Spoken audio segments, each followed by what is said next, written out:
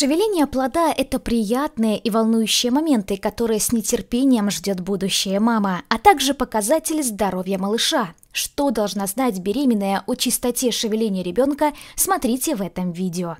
Чистота и выраженность толчков плода – это залог хорошего самочувствия и здоровья будущего малыша. Если у женщины первая беременность, то она долго может не ощущать толчков ребенка, в отличие от мамы, которая уже рожала. Беременной следует прислушиваться к поведению ребенка. Активные, а иногда даже болезненные и сильные шевеления говорят о том, что нужно обращаться за медицинской помощью. Возможно, ребенку не хватает кислорода или есть другой риск. На седьмой-восьмой неделе малыш делает первые шевеления, которые мама не ощущает из-за маленького размера плода. Но к 16-22 неделе беременности ребенок становится больше, масса его тела увеличивается, и женщина чувствует первые толчки. Вот факторы, которые влияют на срок первого шевеления ребенка. Первое. Особенности телосложения беременной. Женщина с полной комплектацией может ощутить первое шевеление на сроке 21-22 недели, а более худая мама на 18-19. Второе – количество беременностей. Во время первой беременности толчки чувствуются позднее. Это связано с тем, что тонус передней стенки живота ослабевает после родов, и ощущения становятся знакомы при следующем вынашивании ребенка. Третье – многоплодная беременность. Наличие двух или более плодов в утробе матери помогает женщине ощутить первое шевеление 16 недели беременности.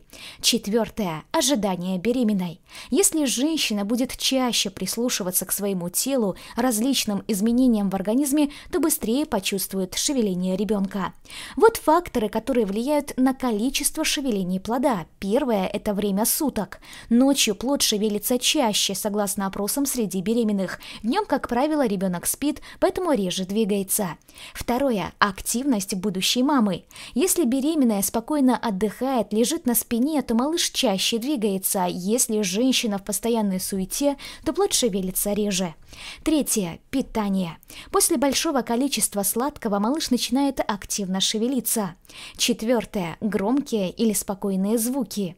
На резкие звуки малыш сильно реагирует, порой пугается и начинает часто шевелиться. А если звуки спокойные, то малыш напротив успокаивается, движения становятся менее отчетливыми. Пятое. Эмоциональное состояние матери. Если беременная испытывает стресс, то ребенок чаще двигается или ненадолго перестает осуществлять толчки. Шестое. Длительное пребывание в неудобном положении.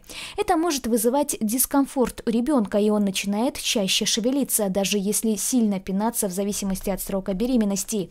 Особенно ему не нравится, когда мама лежит на спине, потому что нарушается кровоснабжение матки и происходит сдавливание сосудов. Поэтому гинекологи не советуют беременным ложиться на спину, а рекомендуют занимать боковое положение тела во время отдыха и сна. Седьмое. Количество амниотической жидкости.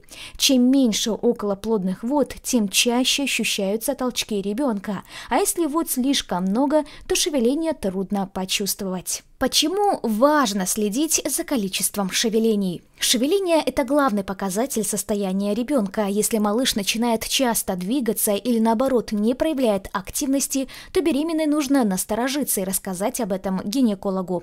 Врач посоветует считать количество шевелений ежедневно. Если за сутки их меньше 10 или наоборот слишком много, то в этом случае нужно проводить дополнительную диагностику. Возможно, ребенок испытывает кислородное голодание.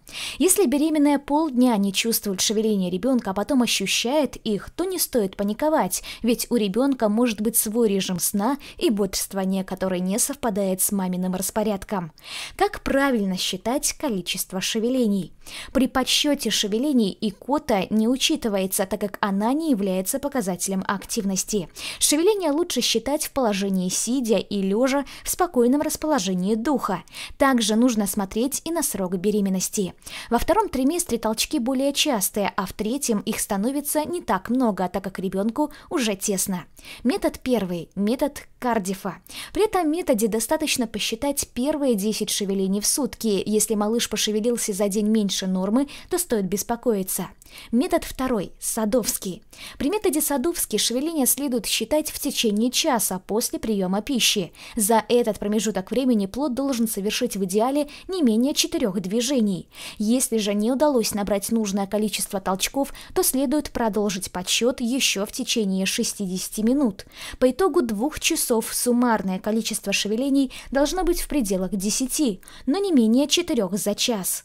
Если ребенок пошевелился 2-3 раза, то нужно незамедлительно обратиться к доктору. Третий метод – Пирсона. Шевеление нужно учитывать с 9 утра до 9 вечера. При этом в таблицу следует фиксировать первое шевеление и десятое. В графе указывать время, когда плод совершил десятое шевеление. Если за 12 часов он толкнул маму не менее 10 раз, то с ним все хорошо. Будущая мама обязательно должна вести подсчет шевеления ребенка, а если этим пренебречь, то здоровье плода может оказаться под угрозой. Чем раньше будет выявлена причина уменьшения или резкого увеличения количества движений, тем быстрее будут приняты меры для спасения будущего малыша.